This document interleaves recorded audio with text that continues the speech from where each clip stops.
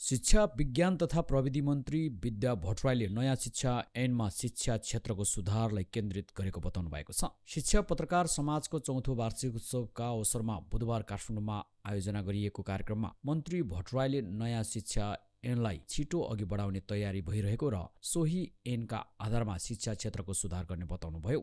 ऐनले भनेअनुसार काम गर्ने हो भने शिक्षामा लगानी बढाउनु पर्ने उहाँले बताउनुभयो। उहाँले ऐनलाई कार्यान्वयन गर्न सके शिक्षामा देखिएको विभेद पनि हट्ने विश्वास व्यक्त गर्नुभयो।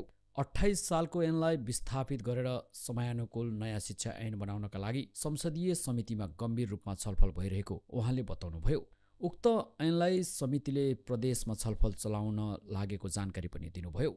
मन्त्री भट्टराईले समयमा नै ऐन बनाउन नसकिए शिक्षा क्षेत्रमा देखिएको व्यथिति हटाउन नसकिने उल्लेख गर्नुभयो। कार्यक्रममा शिक्षा पत्रकार समाजले शिक्षा पत्रकारिता पुरस्कार वितरण गर्दै विभिन्न व्यक्तिहरूलाई सम्मान समेत गरेको थियो। तर आज पनि हामीले हेऱ्यौँ भने हामीले त्यो पाउँदैनौँ। भनेको कहीँ चार प्रतिशत छ कहीँ दुई प्रतिशत छ कहीँ दस प्रतिशत छ सङ्घमै पनि दस प्रतिशत मात्रै छ। मैले यो उठाउन खोजेको के हो भन्दा सरकारले शिक्षामा लगानी गर्नुपर्छ भन्ने कुरा केलाई आधार बनाउनु भन्दा हामीले बनाएको ऐन एउटा आधार हो।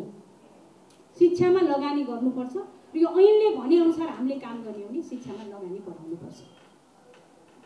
शिक्षामा लगानी गर्ने र लगानी बढाउने दुइटै कुराका लागि यो ऐनको प्रयोग अनिवार्य छ। त्यसकारण यसमा टेकेर जानुपर्छ भनेर मैले यो कामको सुरुवात गरेँ। पहिलो काम।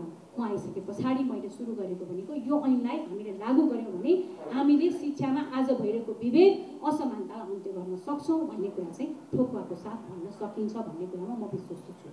दोस्रो कुरा भनेको आज विद्यालय शिक्षा ऐन। जुन विद्यालय शिक्षा ऐन दुई हजार अठाइस साललाई त्यसले एकीकृत पनि गर्नुपर्नेछ नयाँ कुराहरूलाई निर्माण पनि गर्नुपर्नेछ। त्यसले गर्दा अठाइस सालको ऐनलाई विस्थापित गरेर आज नयाँ ऐन बनाउने कुराको जुन बहस चलिरहेको छ संसदको शिक्षा स्वास्थ्य तथा सूचना प्रविधिमा व्यापक रूपमा छलफल भइरहेको छ। संशोधनकर्ताहरूसँग छलफल भएर अहिले हामी भोलि पर्सि चार गते फेरि शिक्षा विधेयकको बारेमा छलफलमा बस्छौँ। त्यसपछि शिक्षा समितिको जति पनि मान्यज्यूहरू हुनुहुन्छ उहाँहरू प्रदेशमा छलफलको लागि जानुहुन्छ। प्रदेशको छलफलबाट फर्किसके पछाडि फेरि समितिको बैठक बसेर यो प्रक्रिया अगाडि बढ्छ। त्यसले गर्दा अहिले यहाँले ऐन आउँछ कि आउँदैन भन्दा ऐन आउँछ। ऐन ल्याउनका लागि म क्रियाशील छु। ऐन आउँछ र कहिलेकाहीँ विभिन्न कुराहरू सुन्दा आउँदैन कि भन्ने पनि यहाँलाई लाग्छ। किनकि समितिमै पनि कहिले संविधान संशोधन गर्नुपर्छ भन्ने कुरा आउँछ कहिले के आउँछ। तर मैले के भनेको छु भने पहिला ऐन बनाऊ। हामीले संविधान बनाएको यति वर्ष हुँदा त बल्ल ऐन बनाउँदैछ भने। ऐन बनाऊ संविधान संशोधन भएछ भने फेरि ऐन संशोधन गरौँ।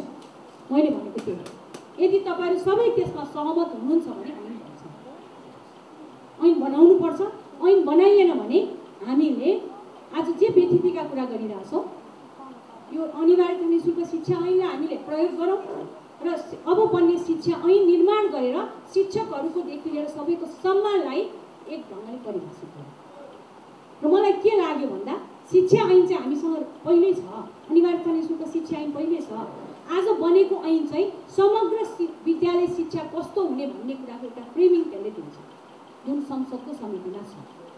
त्यसमा त्यो फ्रेमिङ दिइरहँदाखेरि त्यसले शिक्षकहरूको सम्म पनि शिक्षकहरूलाई अब हामीले हिजो जसरी वर्गीकृत शिक्षकहरू आज हामीसँग हुनुहुन्छ शिक्षक के हो भन्ने कुराको परिभाषा आजसम्म हामीसँग छैन। शिक्षक के हो शिक्षक कस्तो हुने भन्ने परिभाषा छैन।